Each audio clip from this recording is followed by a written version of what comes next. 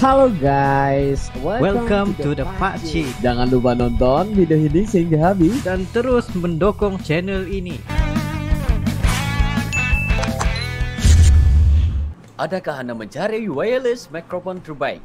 Ini dia, Godox Movelink M2 dengan charging case yang berharga RM600, anda akan mendapatkan dua transmitter, satu receiver. Dapatkan sekarang di link di bawah. Thank you. Assalamualaikum warahmatullahi wabarakatuh. Kembali lagi dalam The Pakcik dan juga Ariel Lee. Assalamualaikum guys, apa kabar kalian? Semoga sehat selalu guys. Alhamdulillah kita bertemu lagi di channel The Pakcik, channel yang memberikan kita informasi, entertainment dan juga reaksi yang Jujur aja, jujur guys. aja ya guys. Ah, terima kasih juga pada teman-teman kita yang baru saja mampir ke channel The Pakcik. Kita mengucapkan selamat datang, selamat bergabung. Insyaallah ya kita bakal bereaksi yang terbaru, terupdate. Ini buat kalian Yes. semua. Tapi yang penting-penting sekali adalah ah, nonton video ini sehingga habis biar nggak salah anggap ya guys. Betul. Ah, Nah, kita itu penasaran ya daripada channelnya GL Sport Extra, Extra and News. news. Wow, karena judulnya itu bilangnya kayak ini. Bola Piala Dunia ternyata dari Indonesia. Tujuh fakta soal Ahri lah. Bola Piala Dunia wajib kamu Wah. tahu. Wow. Bola Al-Rihla itu guys untuk Bola Piala Qatar ini. Dunia ya, ternyata dari Indonesia. Ini Tapi kita Nggak penasaran nyangka juga aku. gimana apa mungkin ideationnya di mana.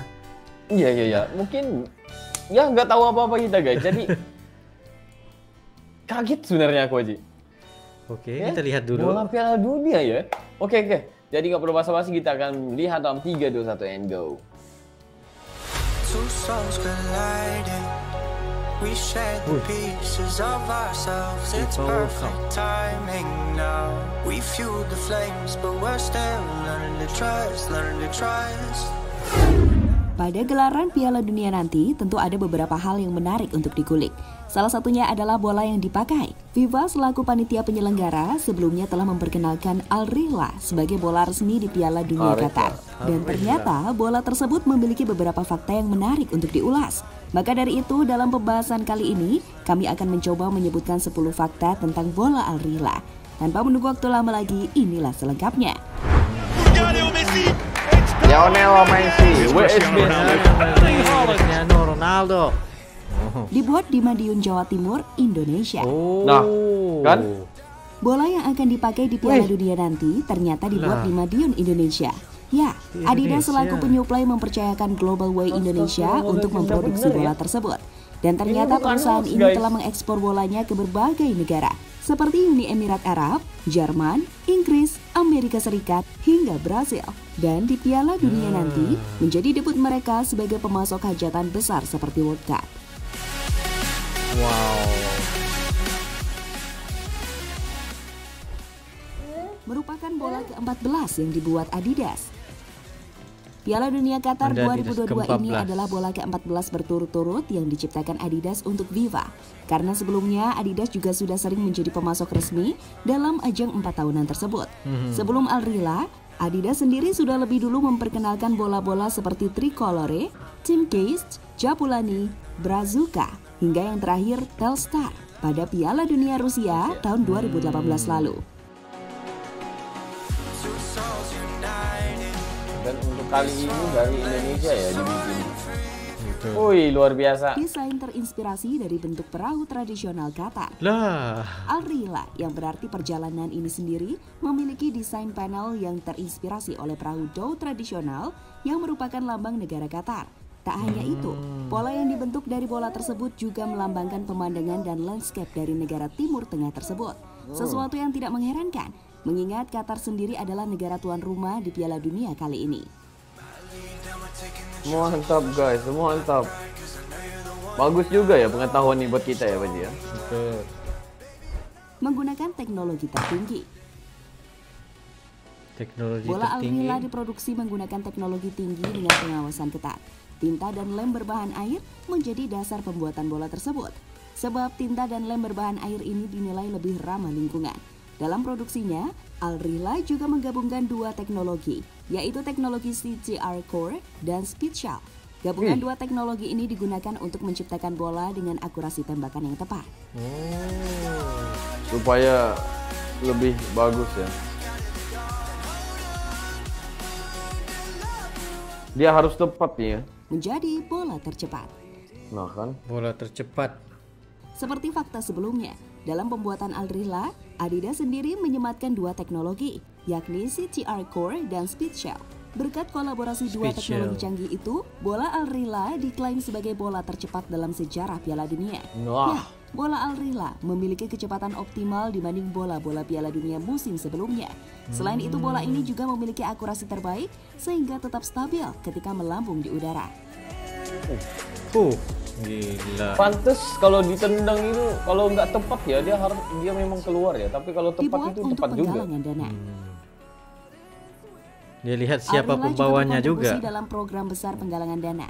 General Manager Adidas Nick Craigs menuturkan bahwa setiap satu persen dari penjualan bola Alrila akan disumbangkan. Tentu program tersebut membawa dampak positif bagi dunia. Apalagi Piala Dunia Qatar sebelumnya sempat mendapatkan reaksi negatif dari dunia.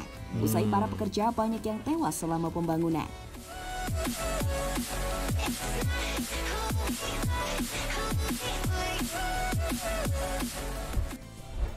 Bola pertama yang dipasang teknologi offside. Nah, Oh, ini nih Dunia, guys, karena itu. Bola akan dipasang sebanyak Se- 12 sebab bukan bukan Se- sebab itu mereka apa ada satu teknologi yang diintroduce rupanya di Biar- dalam bola sendiri pun ada juga. Iya, iya Wati. Lah. Itu yang aku heran juga kenapa benar-benar baik teknologi ya. Benar-benar kan accurate. Iya, satu inci saja ya terkeluar dua Dikira inci, tiga inci terus. kayak gitu, offside. Gila, Karena guys. itu kalau kalau satu kosong hari ini bisanya esok itu nggak jadi markanya ya. Wah, seperti Wah. Argentina itu kan. Betul betul betul. Wah, Rupanya offside guys. tahu ya. Wish. Walau eh. kamera pengintai. Hal itu dilakukan untuk meminimalisir offside Oh. yang biasanya Wih. menjadi perdebatan dalam sebuah pertandingan. Maka hal itu tentunya juga akan semakin memudahkan wasit yang bertugas di Hmm, lapangan. Karena Nah, mereka itu, tidak guys. perlu mengecek lagi VAR atau hal lainnya. Gila teknologinya nih. Nah, Nah, satu Jadi inci itulah saja ya guys. offside, Alrila offside ya. yang akan digunakan Oh, di luar biasa, luar biasa. waduh. Ini rupanya rahasianya ya. Oh, baru kita tahu di sini guys. Waduh. Apa-apapun terima kasih buat GL Sport atas ilmu baru buat kita juga yaitu tentang teknologi yang digunakan di dalam Al Al Rihlah ini. Nah, Nggak nyangka juga yang eh, apa bola ini dihasilkan di Indonesia ya guys. yes, itu Ah. wah, mengkagetkan sekali nih ya. Iya iya iya. Oh rupanya baru kita tahu infonya adalah baru ah, sebenarnya sudah dua kali Indonesia membuat bola untuk Piala Dunia ya guys. Ah. Wih, memang, memang, memang, memang Wow. mantap terus Indonesia. Ya, maju terus. Memang kita, oh, memang. dan dinobat luar dan bolanya dinobatkan sebagai bola tercepat di dunia, guys. Teraccurate. Nah, Teraccurate, itu paling mahal tuh. Oh. Gila, guys. Karena itu bila penalti ya, belum tentu lagi bisa ditangkap ya guys. Ah, karena bolanya terlalu laju sebenarnya. Huh. Tapi kalau ada yang bisa tangkap itu, wah. Itu memang Nah. gila-gila ya.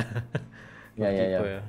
Dan juga kita baru tahu sebenarnya teknologi itu di dalam bola itu ada ada Kira macam sensor, sensor ya. Ah. Sensor untuk VAR uh, untuk apa? Offside. Untuk offside. Oh, Hmm.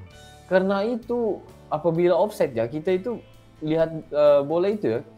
Gimana mereka tahu itu bisa offside ya walaupun satu inci. Jadi kita oh mungkin padangnya, mungkin Mungkin stadionnya juga, itu. tapi enggak juga. mungkin stadionnya Hmm. gitu. Rupanya Chipset rahasianya di itu dalam bolanya itu juga. di bola guys. Ya Rabbi, satu, satu salah sekali. satunya juga di padang itu dan juga bola itu. Jadi bila ada dua teknologi itu, nah lagi mantap guys. Iya Gila. benar-benar benar. Wih luar biasa guys. Tapi itulah namanya Adidas ini di mana pun dibikin, di mana dibuat orang yang orang tahu, ya Mhm. eh, apa yang orang tahu cuma Adidas itu aja guys. Iya betul betul. Ah. Tapi kalau ikutkan bukan saja FIFA mempercayai kepada Indonesia tapi sebelum ini pernah juga ada macam China, Pakistan, Vietnam pengeluar-pengeluar fabric terbesar di dunia juga.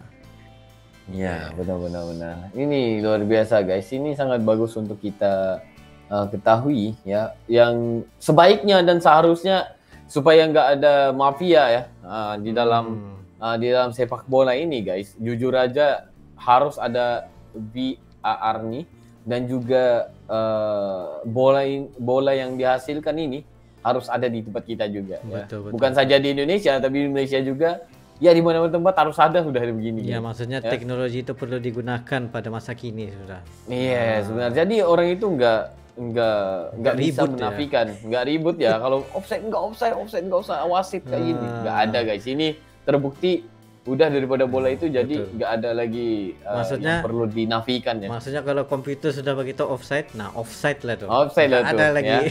Karena ia dia ia udah accurate untuk teknologi dalam bola tersebut. Yes, betul betul betul. Benar. Wah.